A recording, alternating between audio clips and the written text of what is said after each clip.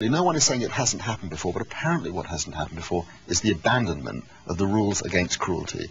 And the Geneva Conventions were set aside, as Doug Feith told me, precisely in order to clear the slate and allow aggressive interrogation.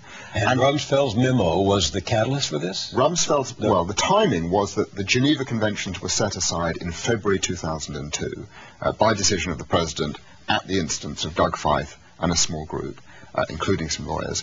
And the memo by Donald Rumsfeld then came in December 2002 after they had identified Mohammed al-Qahtani. But it, it, it, it was permitted to occupy the space that had been created by clearing away the brushwork of the Geneva Conventions. And by removing Geneva, that memo became possible. Why does it abandon American values? It abandons American values because this military in this country has a very fine tradition, as we've been discussing, of not doing cruelty. Uh, it's a proud tradition, and it's a tradition born on issues of principle, but also pragmatism. No country is more exposed internationally than the United States. Uh, I, for example, to Justice Antonin Scalia saying, if the president wants to authorize torture, there's nothing in our constitution which stops it. Now, pause for a moment. That is such a foolish thing to say.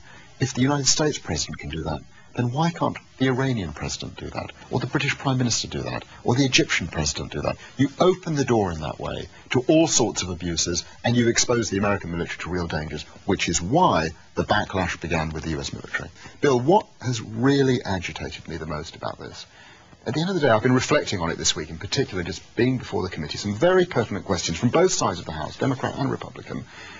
It's not just that a crime was committed. It's that there's been a failure to take responsibility. There's been a cover-up from the top in terms of pointing the finger to people who should not take blame for what has happened. But soldiers Even down the line. Soldiers on the front line who are doing their best in difficult circumstances to protect the United States should not be blamed for what was decided at the top. But there's, a, there's an even bigger issue at a very personal level. It's not about legality, about criminality. It's about taking individual responsibility. If people like Doug Feith and Jim Haynes had said to me, look, Philippe, September the 11th came. The anniversary was coming. We were getting information that there were going to be more attacks. We had people that we were told had information that we needed to do something about, and we therefore felt, in those circumstances, it was right to use all means appropriate and necessary to get the information but with the benefit of hindsight, we realise we fell into error, we made a mistake, we accept responsibility for that, we will learn from those mistakes, we'll make damn sure it doesn't happen again. I didn't get that at all.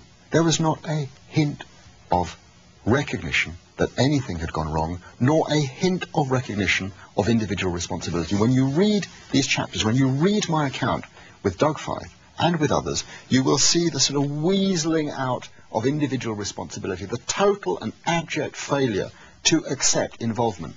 Read Mr. Feith's book on how to fight the so-called war on terror, and it's as though the man had no involvement in the decisions relating to interrogation of detainees. And yet, as I describe in the book, the man was deeply involved in the decision-making from step one. So it's about individual responsibility, and there's been an abject failure on that account. Do